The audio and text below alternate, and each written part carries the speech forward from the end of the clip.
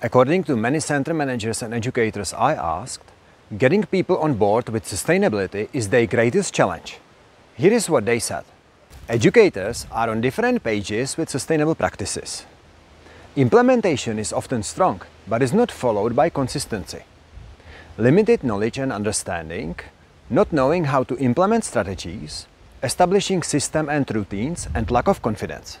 So in this video, we will look at why these challenges even exist and how do you get people on board with sustainability? Because there is a method to it. It's not universal, unlike compliance. We have to make it universal. Hi, I'm Jan from sustainablebutterflies.com.au and one of our five columns is behavior change and leadership, hence the content of this video. I've got four theories on why getting people on board is such a great challenge. Sustainability, unlike compliance, is not binary, yes or no. So let's contrast these two real quick. With compliance, the fence height is determined, and so is the distance between the fence and a climbing structure. We need to have labels on spray bottles, safety data sheets, non-poisonous greenery, soft fall underneath a climbing structure, play equipment for example, and other 419 rules and regulations. It's exhausting but also explicit, clear, universal, non-negotiable and mandatory. There is no question of getting people on board. Sustainability, on the other hand, is vague, unclear, voluntary and individual. It's the responsibility of individuals in centers. It's not universal. We don't have clear rules on what the healthy energy usage is, uh, levels of waste, water usage, rates of recycling, greenery besides safe, and unsafe types of cleaning products, resources, equipment, etc., let alone the level of engagement and commitment. There is only one element out of 40 in the National Quality Standard that refers to it, 3.2.3 environmentally responsible. Now, let's imagine that you are an educator who is not on board with sustainability and you are preparing for assessment and rating. You might say, hey, if this was such a big deal, then surely it would be more represented pronounced in the national quality standard, wouldn't it? And we've got recycling bins, we turn off the lights and we water the garden, so we're doing our bit. You tick the box and, you know, you're right, aren't you? Well, it's true. Watering the garden, recycling and turning off the lights is environmentally responsible. But is it enough?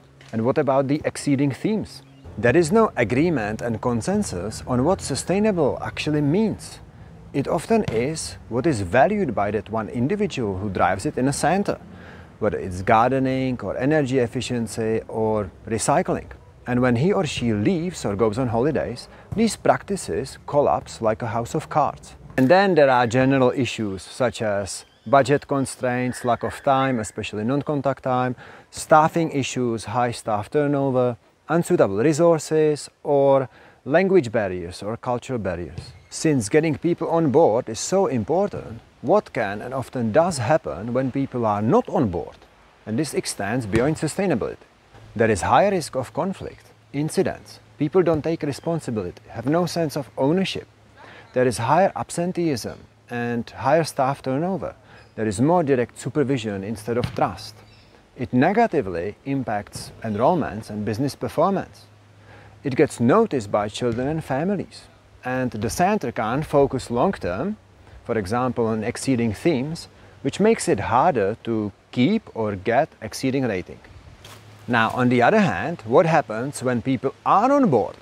There is lower risk of incidents, fewer issues, people have confidence, take responsibility and have sense of ownership. There is sense of purpose and unified vision. There is lower absenteeism and lower staff turnover and less direct supervision because there is more trust, which also saves time. It positively impacts enrollments and business performance. It gets noticed by children and families. And the center can focus long term, for example, on exceeding themes, which increases the chances of getting or keeping exceeding rating. And there is harmony in the house, and the strong core expands which allows to focus externally, for example, on community engagement. Now, what would it be like if people at your service were on board with sustainability and how do you make it happen? There is a method to it. And the first step is clarification.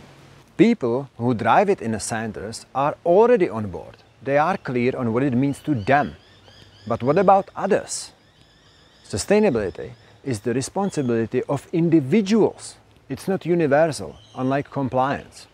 We have to make it universal, and clarification is the first step. But that's not enough.